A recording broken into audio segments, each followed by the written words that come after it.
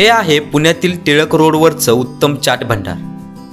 हे देखील पुण्यातील इतर चाट भंडारांप्रमाणे दिसत असलं तरी याची खासियत म्हणजे हे चाट भंडार गेली पन्नास वर्ष याच ठिकाणी सुरू आहे. आणि हे देवकी उत्तम सिंग राजपूत ह्या गेली सत्तावीस वर्ष चालवतात. त्यांच्या आधी त्यांचे पती हे चाट भंडार चालवायचे. पण त्यांच्या तब्येतीच्या कारणास्तव नंतर त्यांच्या पत्नी देवकी उत्तम सिंग राजपूत याच हे चाट भांडार चालवतात. त्यांच्या कार्याची दखल अनेक वर्तमानपत्रांनी आणि संघटनांनी घेतलेली आहे. माझं नाव जोगी उत्तमसिंग राजपूत. आज मी एकोणपन्नास वर्ष झाले. आम्ही हा धंदा चालू केलेला आहे पाणीपुरी पहिले आमचे मालक हॉटेलात काम करत होते.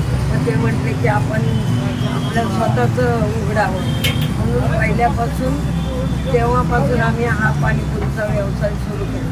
आम्ही सगळं मटेरियल वगैरे घरी करतो सगळं. ते आजारी पडले तेव्हापासून मी सत्तावीस वर्ष सुरू केले.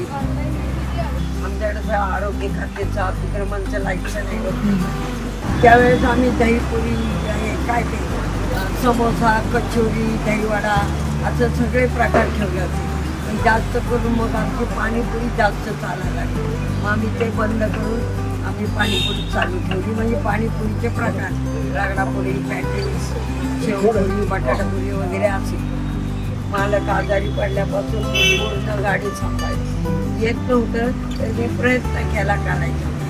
मग तेव्हापासून मी करायला लागले. मी सत्तावीस वर्ष उभी राहिली गाडीवर.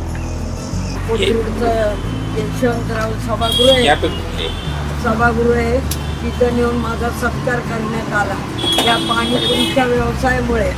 आणि मग तिथं मला एक हजार एक रुपया आणि हे एक हजार एक आणि काय साडी दिली. नीलम नीलम गोरेच्या हस्ते झालं. आणि गिरीश बापट मोहन जोशी ते सगळे येतात आमचे. असे कलाकार लीला गांधी जुन्याच्या आणि उषा चव्हाण या पण आल्या होत्या. अरे वा. हा आम्ही घरीच सगळं करतो. बाहेरचं काय नाही. कच्चा माल आणून पत्र करतो जवळजवळ आता वीस पंचवीस वर्ष झाली आम्ही इकडे येतो. आता माझ्या यू एसला जायचं ना. पण इथे आल्याशिवाय पाणीपुरी खाल्ल्याशिवाय समाधान वाटत नाही. म्हणजे गणेश जो कल्याण जी पाणीपुरी आहे. लाजवाब बघितलं ती बाई आता बोलून. ती पण खूप वर्षाची गिरायची आमची? माझे जरा आता पाय जरा प्रॉब्लेम म्हणून आता मुलगा येते